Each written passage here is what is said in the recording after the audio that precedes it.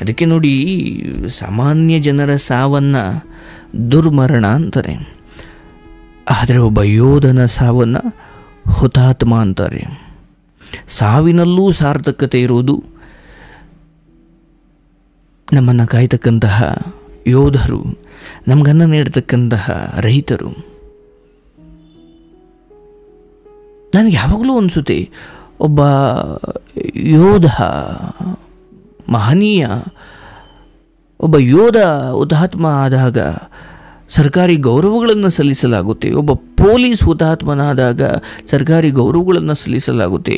ಒಬ್ಬ ಬಣ್ಣ ಹಚ್ಚಿಕೊಂಡು ನಾಟಕದ ಬದುಕು ನಡೆಸುವ ಒಬ್ಬ ಕಲಾದೇವಿಯ ಪುತ್ರ ಕ, ಏನು, ಒಬ್ಬ ನಟ ತೀರಿ ಹೋದರೆ ಸರ್ಕಾರಿ ಗೌರವಗಳೇ ಕೊಡೋದಾಗುತ್ತೆ. ಅದೇ ದೇಶಕ್ಕೆಲ್ಲ ಅನ್ನ ಹಾಕೋ ಒಬ್ಬ ರೈತ ಸತ್ತು ಹೋದಾಗ ಯಾರೂ ಕೇಳಲ್ವಲ್ಲ ಅದನ್ನು? ಸರ್ಕಾರಿ ಗೌರವ ಬಿಟ್ಬಿಡಿ. ಆತನ ಸಾವಿಗೊಂದು ಬೆಲೆನೇ ಇಲ್ವಲ್ಲ. ಈ ವರ್ಷ ಎಷ್ಟು ಜನ ರೈತರು ಸತ್ರು? ಅರೆ, ಒಂದು ಸಂವೇದನಾಶೀಲತೆನೇ ಇಲ್ಲ. ಎಷ್ಟು ಜನ ಸತ್ರಪ್ಪ? ಎಂಟಾ? ಹಾಂ, ಸರಿ ಪೇಪರಿಗೆ ಕೊಡೋದು ಎಂಟು. ಅಂದರೆ ಸಾವು ಇಷ್ಟು ಈಸಿಯಾಗಿ ಹೋಗೋಯ್ತಾ? ಅದು ಒಬ್ಬ ರೈತನ ಸಾವು, ಯಾರಿಗೂ ಬೇಕಿಲ್ವಾ? ಅಥವಾ ಒಬ್ಬ ರೈತನ ಸಾವು ಯಾರಿಗೂ ಮುಖ್ಯ ಅಲ್ವಾ?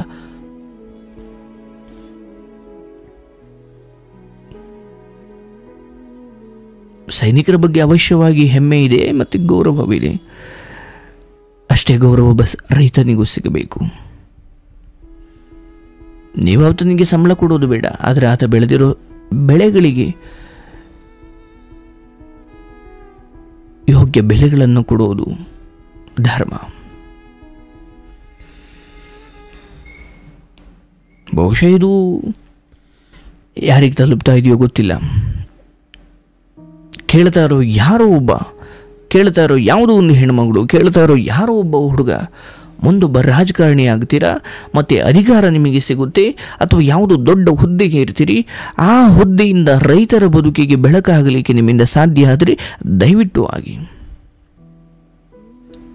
ಇವನ್ ನಾವು ಎಷ್ಟೇ ದೊಡ್ಡ ದೊಡ್ಡದಾಗಿ ಮಾತಾಡಿದ್ರು, ಇದು ನಮ್ಮನ್ನು ಆಳ್ತಕ್ಕಂತಹ ಅಧಿಕಾರಿಗಳ ರಾಜಕಾರಣಿಗಳ ಕೈಲಿರೋದು. ಒಬ್ಬ ಶಾಸಕನಾಗಿ ತನ್ನ ಮನೆಯನ್ನು, ತನ್ನ ನೆಂಟರುಗಳನ್ನು, ತನ್ನ ಸಂಬಂಧಿಕರನ್ನು, ಏ ತಡೆಯಪ್ಪ, ಅಧಿಕಾರ ಐದು ವರ್ಷ, ಐದು ವರ್ಷದ ಒಳಗಡೆ ಊರಿನ ರೋಡ್ ಕಿತ್ತು, ಏನು, ಲವಂಡಿ ಆಗಿರಲಿ, ಊರಿನ ರಸ್ತೆಗಳೆಲ್ಲ ಕಿತ್ತು ಹೋಗಿ, ನೀರಿನ ವ್ಯವಸ್ಥೆ ಇಲ್ಲದೇನೆ ಊರೆಲ್ಲ ನರಕ ಆಗಲಿ, ನನ್ನ ಮನೆ, ನನ್ನ ಅಕ್ಕ ತಂಗಿಯರ ಮನೆ, ಅಣ್ಣ ತಮ್ಮಂದಿರ ಮನೆ, ನನ್ನ ಸಂಬಂಧಿಕರಿಗೆಲ್ಲ ನಾನು ಒಳ್ಳೊಳ್ಳೆ ಮನೆ ಕಟ್ಸ್ಕೊಡ್ಬೇಕು, ಐದು ವರ್ಷದೊಳಗಡೆ ಎಷ್ಟು ದೋಚಬೇಕು, ಅಷ್ಟು ದೋಚ್ಬಿಡೋಣ ಅಂತ. ಎಲ್ಲರೂ ಹಾಕಿದ್ದಾರೆ ಎಂದಲ್ಲ. ಕಲಿಯುಗದಲ್ಲಿ ರಾಜಕ, ರಾಜಕೀಯ ಅನ್ನೋದು ಅದು ವೇಷೆಯ ಬದುಕಿಗಿಂತ ಹೀನ.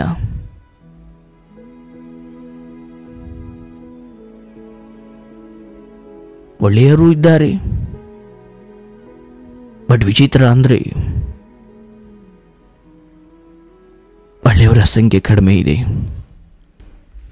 ಇರಲಿ. ಒಳ್ಳೆಯದಾಗಲಿ ಸರ್ ಈಗ ನಾನು ಮುಂದಿನ ಕರೆ ತಗೊಳ್ತೀನಿ.